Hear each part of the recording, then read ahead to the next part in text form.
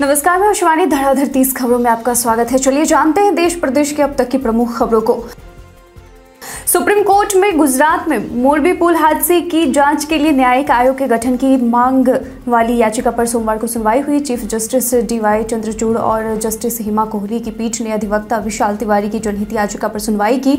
हादसे में 130 से अधिक लोगों की मौत हुई थी।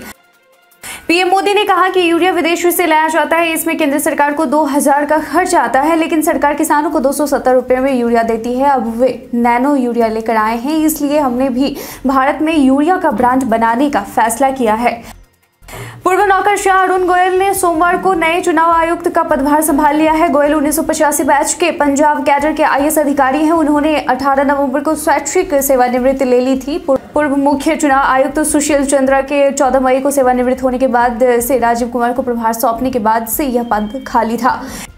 कर्नाटक के हुलमनी गाँव के लोगों ने हाथी के हमले में एक महिला की मौत के बाद मोदी गेरे विधायक एमपी कुमार स्वामी के कपड़े कथित रूप से फाड़ दिए और उनके साथ मारपीट की। ग्रामीणों ने आरोप लगाया कि विधायक ने हाथी के हमले का ठीक से जवाब नहीं दिया। पुलिस ने मामले में कुछ लोगों को गिरफ़्तार भी किया है। मतांतरण के विरुद्ध याचिका पर सुनवाई के दौरान सुप्रीम कोर्ट ने भी चिंता जताई है। शीर्ष न्यायालय का कहना है कि इस पर रोक लगाने के लिए केंद्र सरकार को प्रयास करने होंगे। अनदेखी से स्थिति बिगड़ सकती है, जबरन मतांतरण राष्ट्र की सुरक्षा और धर्म की स्वतंत्रता को प्रभावित करता है। दिल्ली में लगातार ठंड का प्रकोप बढ़ता जा रहा है। झारखंड के भी तापमान में लगातार गिरावट दर्ज की जा रही है। बिहार के गया ज़िले में इस बार भीषण सर्दी पड़ने की संभावना जताई जा रही है। यहाँ कोल्ड डे भी अधिक दिनों तक रहेगा। राजस्थान के चूरू का न्यूनतम पारा एक डिग्री सेल्सियस कम रिकॉर्ड किया जा रहा है। ज़िले में रात का तापमान चौबीस घंटे में एक दशमलव एक डिग्री लुढ़क कर सात दशमलव दो डिग्री पर पहुँच गया है।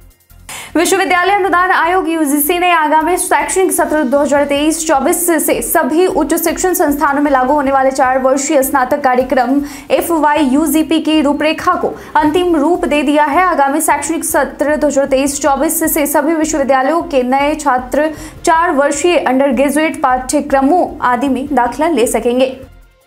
कर्नाटक के मुख्यमंत्री बसवराज बोम्मई ने कांग्रेस पर निशाना साधते हुए कहा है कि अपने कार्यकाल के दौरान कांग्रेस ने अनुसूचित जाति और अनुसूचित जनजाति की उन्नति के लिए कुछ काम नहीं किया है। कांग्रेस भाजपा की सुनामी में गायब हो जाएगी। सीएम बोम्मई ने सोनिया गांधी पर भी जमकर हमला बोला है। श्रद्धा मर्डर केस में आरोपी आफ्ताब का नार्को टेस्ट आज नहीं हुआ। Forensic psychology division head doctor Puneet Puri ने बताया कि पॉलीग्राफ परीक्षण के लिए व्यक्ति की अनुमति चाहिए होती है। कोर्ट ने टीम को नार्को टेस्ट की अनुमति दी है। अगर उन्हें आज कोर्ट के आदेश मिल जाते हैं तो 10 दिनों में पॉलीग्राफ मनोवैज्ञानिक और नार्को टेस्ट के सारे काम पूरे हो जाएँगे।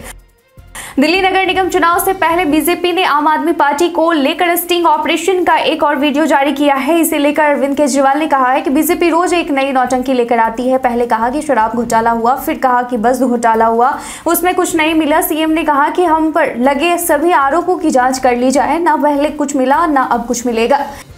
गुजरात विधानसभा चुनाव के लिए प्रचार में उतरे प्रधानमंत्री नरेंद्र मोदी ने सुरेंद्र नगर की रैली से कांग्रेस नेता मधुसूदन मिस्त्री के औकात वाले विवादास्पद बयान पर जवाब दिया है प्रधानमंत्री मोदी ने कहा कि कांग्रेस कहती है कि मोदी को औकात दिखा देंगे। यह अहंकार है कि मोदी को उसकी औकात दिखा देंगे। वे राज परिवार से है। मैं आम परिवार से हूँ, जनता का सेवक हूँ। मेरी पहले से ही कोई औकात नहीं है।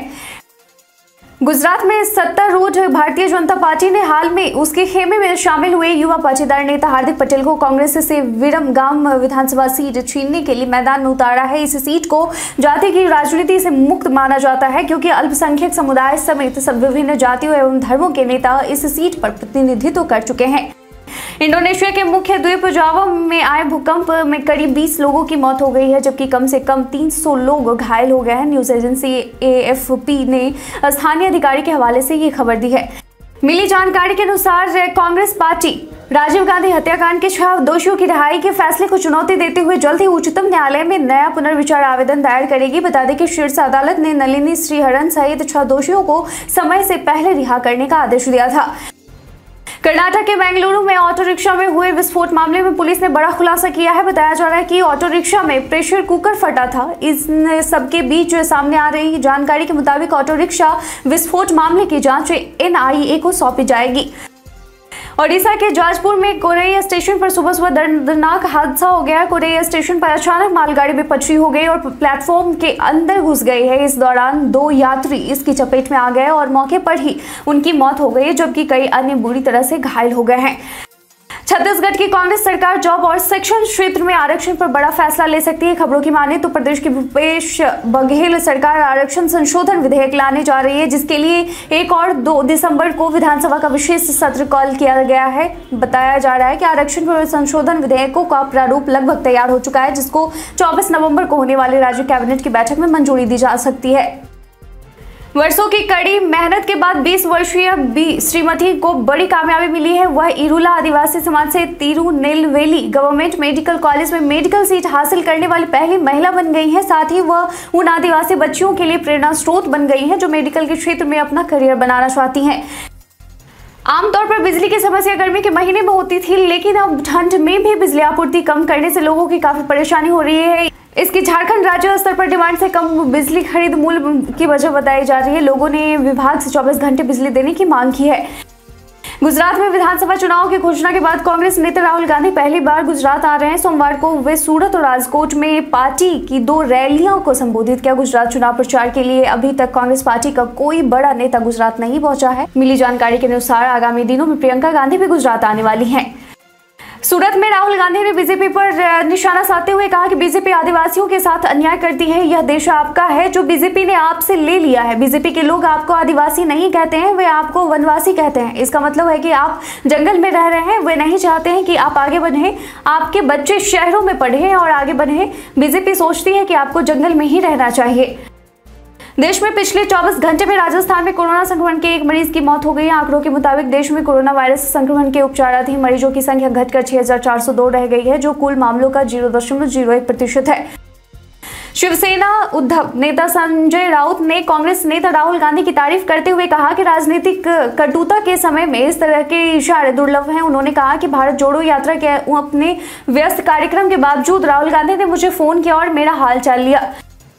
बिहार के दो स्टेशन से दो स्पेशल ट्रेन फिर चलने जा रही है। यात्रियों की सुविधा को देखते हुए रेलवे ने निर्णय लिया है कि पहली ट्रेन दानापुर से एस एम भी बैंगलोर और दूसरी ट्रेन दरभंगा से एर्नाकुलम के लिए चलेगी। ये ट्रेनें आज सोमवार इक्कीस नवंबर से चलेंगी। पुमड़े के मुख्य जनसंपर्क पदाधिकारी वीरेंद्र कुमार ने इसकी जानकारी दी है। यह स्पेशल ट्रेन इक्कीस नवंबर से पंद्रह दिसंबर के बीच साप्ताहिक चलेंगी। भारत जोड़ो यात्रा 23 नवंबर को बुरहानपुर, ज़िले से मध्य प्रदेश में प्रवेश करेगी और 28 नवंबर को इंदौर पहुंचेगी। पुलिस आयुक्त ने कहा कि हम आश्वस्त करते हैं कि इस यात्रा के दौरान शहर में सुरक्षा के पुख्ता इंतज़ाम किए जाएँगे। राहुल और इस यात्रा में शामिल लोगों का इंदौर के उस, खालसा स्टेडियम में अट्ठाईस नवंबर को रात्रि विश्राम का कार्यक्रम है। राज्यसभा सदस्य संजय राउत ने ऐसे समय में राहुल गांधी की प्रशंसा की है जब राहुल वीटी सावरकर पर की गई अपनी टिप्पणी को लेकर आलोचना का सामना कर रहे हैं। राहुल ने भारत जोड़ो यात्रा के दौरान महाराष्ट्र में पिछले दिनों दावा किया था कि सावरकर ने अंग्रेज़ों की मदद की थी और भय के चलते उन्होंने माफीनामा लिखा था।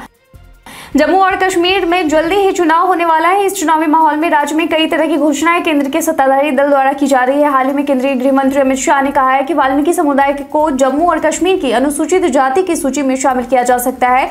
वैसे हर राज्य की अनुसूचित जाति की सूची अलग अलग होती है। कैप्टन कुल धोनी के संन्यास लेने के बाद उनकी कमी रन मशीन कोहली को महसूस होती है। किसी न किसी तरह से उनका ज़िक्र कोहली कर ही बैठते हैं। सोमवार को उन्होंने एक इंस्टा स्टोरी पोस्ट की जिसमें धोनी की तस्वीर को फैंस के साथ साझा किया। दरअसल एक पानी की बोतल पर धोनी की तस्वीर देखने के बाद कोहली उसे पोस्ट किए और बिना नहीं रह पाए। नोबेल पुरस्कार विजेता और गुरुदेव रविंद्रनाथ टैगोर के पैतृक आवास और वर्तमान में रविंद्र भारती विश्वविद्यालय जोड़ा सांकू में तृणमूल कांग्रेस का पार्टी कार्यालय खोलने पर कलकत्ता हाईकोर्ट ने नाराज़गी जताई है। हाईकोर्ट ने तृणमूल पार्टी के कार्यालय को तोड़ने का आदेश दिया है। उच्च न्यायालय ने सोमवार को कोलकाता नगर पालिका को निर्देश लागू करने के लिए तीन सप्ताह का समय दिया है। मामले की अगली सुनवाई उन्नीस दिसंबर को है। हमारे द्वारा पूछे गए सवाल का आप लोगों में से बहुत लोगों ने अपना जवाब में कमेंट सेक्शन में लिखकर दिया था। जिन्होंने पूछे गए सवाल का जवाब दिया, उनके नाम है श्रीकांत कुमार, ओमकार सिंह, मोहम्मद नौशाद, रजा, राजकुमार प्रसाद, एम के बालाजी, नुनू कुमार। इसके साथ ही बढ़ते हैं आज के सवाल की ओर। आज का सवाल है कि आपके पसंदीदा क्रिकेट प्लेयर कौन है? अपना जवाब में कॉमेंट सेक्शन में लिखकर ज़रूर बताएँ। आज के लिए बस इतना ही। धन्यवाद।